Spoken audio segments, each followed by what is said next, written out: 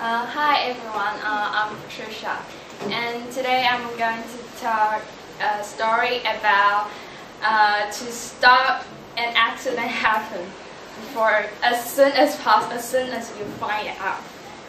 Uh, last semester, uh, our department had a, a drama contest between three grades, and I'm the I'm responsible for the freshman play. And after the contest, we had uh, gatherings at the kind of barbecue uh, restaurant and with some beer. And we had uh, like four or five people to sit around the table.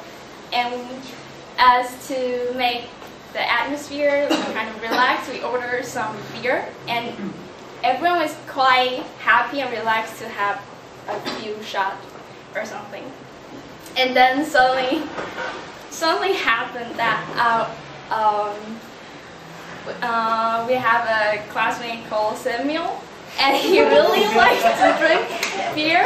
And then I suddenly heard him stand up and say, "Hola, I need two more beers." And then I, and then I said, "Oh my God, something happened."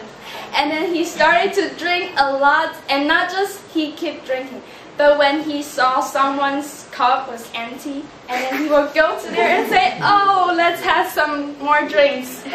And then so, um, at the end of the uh, meal, and when everybody was quite drunk, so drunk, so they uh, we would take a taxi back to the campus.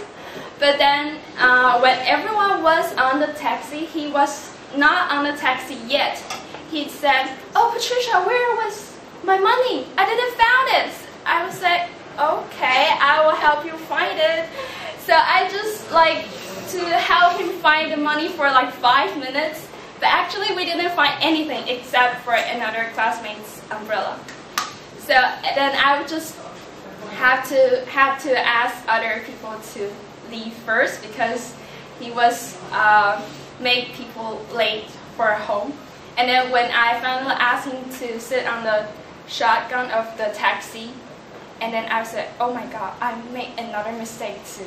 Because he was quite tall, and then and because he was quite drunk, and so he was um, speaking Spanish and English together and waving his arms like, oh, I know the taxi driver's name is like blah blah blah. And I said, oh my god, the taxi driver may think that he had uh, had the craziest customers before ever.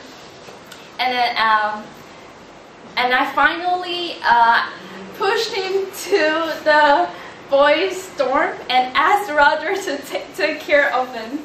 And uh, after this event, um, I realized that I should stop him as soon as I found out that he was uh, he was calling for more beer.